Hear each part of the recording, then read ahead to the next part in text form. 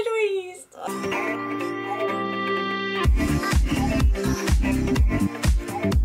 Ahoj všichni, já jsem Luca a vítám vás u Vaříme s Lucou dvě. Asi. Nevím, jestli se počítá otvírání kaprisony, tak je to tři. Takže já vás vítám tady v mé kuchyni a dneska si, jak jste si asi z názvu videa mohli všimnout, uvaříme nebo upečeme dort pro křečky.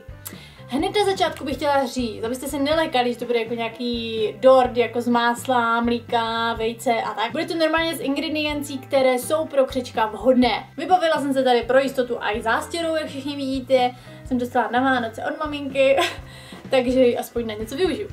Tak, ne jako, že bych nevařila, ale já vařím, ale prostě bez zastěry, víte co, prostě rychlovka a tak. No nebudeme to zdržovat, jdeme na to. Takže, co budeme potřebovat jako první? 7 čajových lžiček uh, celozrné mouky, potom 3 lžičky ovesných vloček, pak 2 čajové lžičky arašidového másla. Snažila jsem se použít co nejméně solené a ochucené máslo, uh, takže jsem zvolila tady tohle BIOS DMK, formičku na vykrajování dortu a mléčné dropsy pro křečky. Tady ty dropsy jsou dokonce značky Eurofan. Vůbec jsem nevěděla, že Eurofan prodává i dropsy. Uh, takže super. Ale rozhodně nebudeme potřebovat celý tenhle balíček, uh, ale asi jenom, nevím, tři, čtyři dropsíky. Tak já myslím, že můžeme na to, ne? Takže uh, nejdříve si vezmeme mouku, hodíme ji do to. Teďka tohle On to tady takhle jako nachystané v misičkách, víte, jak prostě úplně na pol rajcha. Potom budeme potřebovat, počkejte, o, musím se podívat tady do návodu, víte? Jo. Potom přidáme dvě lžičky burákového másla. Je, je, to už dělám bordel. Výborně.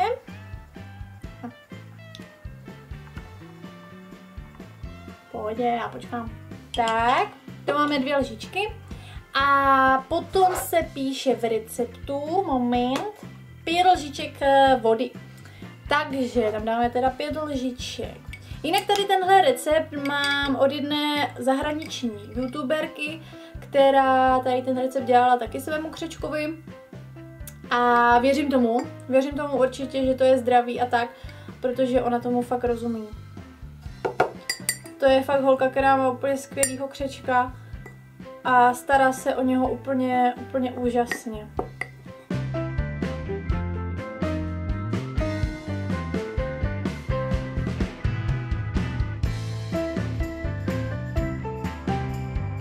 Tak, tady za mnou vy můžete vidět kukíka, tak jo, vlastně nemůžete, protože náš kukík pořád spí. To mě zajímalo, jestli, uh, napište mi do komentářů, jestli váš křeček taky celý den spí. Jako já jsem věděla, že když si pořídím křečka, tak bude celý den spát, jo. Ale tohle už jako trošku moc, ne? Protože já přijdu ze školy, on spí. Pak jsem tady, že jo, vařím, něco dělám a on prostě pořád spí. A dokonce i když jdu spát třeba v 11 večer, tak pořád spí. Ne, není mrtvý, jo, nebojte se. Jakože on vždycky vyleze, občas teda, ne vždycky, vyleze, jde do své misky, tam se nají, zanese si to do baráku a pak jde zase spát. Jako nevím, no, přijde mi, že jako není moc akční zrovna. Ještě tam přidáme trošku vody, teď to tam srknu jako takhle, protože se s tím nebudu prostě chápete? Tak jsem tam tu vodu neměla cekat celou, měla jsem to udělat normálně po žičce, protože teďka se to úplně nepěkně lepí. Tak důležité je to hlavně pořádně jako promnout, jo, aby se ty všechny ingredience spojily. A vidím, že toho je hodně na to, že chci použít takový malinkatý uh, obdélníček. A teď, co bude potřeba? A vezmete si buď alubal a nebo ten pečící papír, tak? Opravdu zase menší papír jsem vzít nemohla. Klasika. Já tady přichytnu. Trošku té mouky tam ještě dám, protože opravdu se to hodně lepí. Tak, no, teď už to je docela slušný. Je to takový, no jako fajn těsto, prostě nelepí se vám na ruku, to je hlavní, jo. Teď se ho rozdělíte na dvě poloviny. A teďka z té jedné poloviny, a dost, Drž. No, to je jedno. Prostě si to takhle rozmáčknete, jo. protože nebudem to tady válet válečkem, jo, prostě takový malinký těsto, to je úplně zbytečný. A možná je dobré si to taky trošku pomoučit ten papír, aby, aby vám to šlo líp oddělat, ne jako mě. Já mám teďka poslední dobou hodně problémy tady s tím, že si vždycky zapomenu pomoučit těsto a pak se mi celý trá.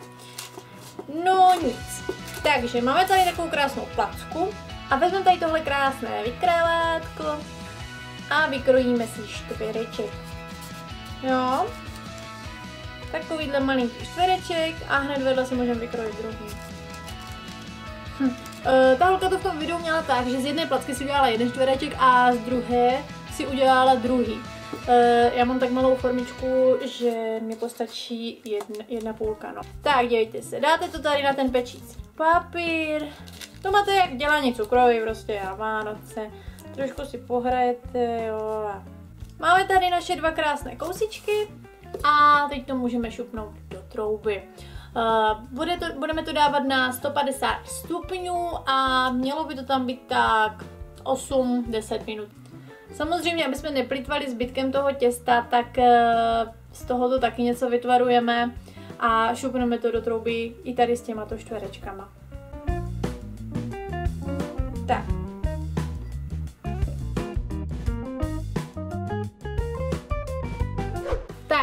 Tím, co se nám korpus peče, si nachystáme uh, tyto mléčné dropsy.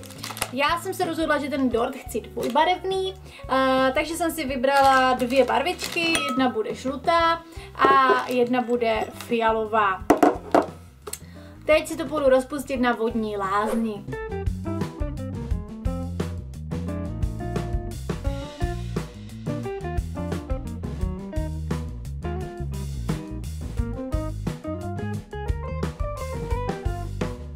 Takže korpus máme upečený a čokoládu, čokoládu máme rozpuštěnou.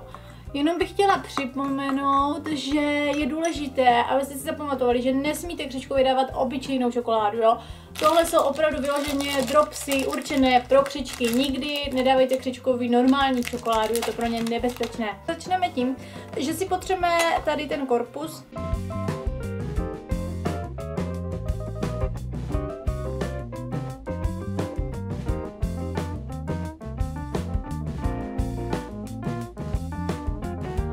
E, takže trošku teda natřeme ty dva pláty, necháme je tady a teď se vrhneme na to těžší, dole podle mě nejtěžší část toho celého. Vezmeme si sáček, ustřihneme tady v té špičce kousínek, aby se tam vytvořila malinká ta dírka. Jo, a to si myslím, že zrovna podělám, ale OK. Uh, uh, uh. Ještě mám tu pěnušky, takže hmm, paráda, Luco. Tak, samozřejmě celý sáček nenecháme. Ustřihneme se aspoň půlku z toho, aby... Co to je? Ah. Ach jo, kdyby aspoň něco fungovalo. Aspoň něco. Tak, a teď tady do té čepičky e, dáme tu čokoládu, jo. Huh, měla jsem si dát ještě gumičku jako správný šéf kuchařku. Ježíš Maria. Té čokolády je asi tak do půlky lžičky, jo. Fakt jí není hodně, takže se to snažte dát až úplně do té špičky. Tak, jakmile to máme tady v té špičce, tak to takhle zhrábneme. No a máme takovou prostě zdobičku, akorát úplně v mini verzi, jo.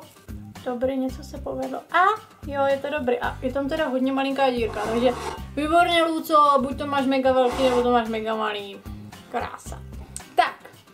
Sem něco hezkého napíšeme. Ještě něco třeba ruky. Ještě něco třeba ruky, ale fakt Ej ne.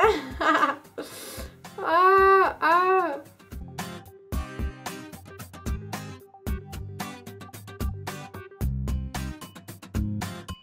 Tak a máme tady takovouhle krásnou tisícovečku. Čokoláda nám ještě zbyla, uh, takže si tím přizdobíme třeba v okraje nebo o něco, já nevím. Mimochodem ta čokoláda úplně nádherně voní, jako kdyby měla být pro lidi. A ještě bych to chtěla nějak upravit. Ještě tady nám zbyla ta bílá čokoládka. Takže to upravíme ještě jakoby okolí. A já jsem tam neudělala díru. ne, jo,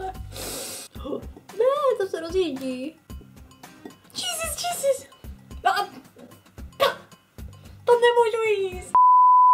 Nic se neděje, pokračujeme, všechno je v pořádku. Tak, tady si odrypnu ten dort. Už tady přischl. Prostě tady ozdobím a jdu. Takže dort máme hotový, e, nějak jsme to přežili, zvládli, docela to jakž takž vypadá, i když teda ty nuly se by tady spojily. Uh, byl to vážně boj.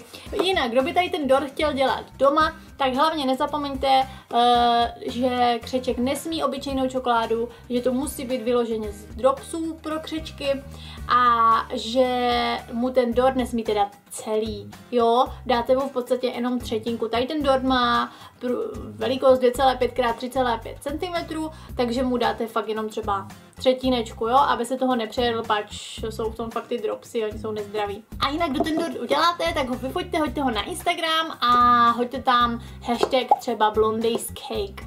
Blondays Cake, jo. Jinak všechny informace ohledně toho dortu hodím dolů do popisku, takže si to prosím vás přečtěte, než se budete na něco ptát.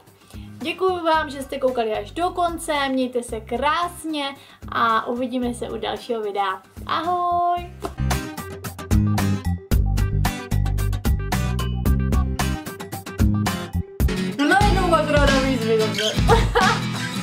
wolę Ale co przecież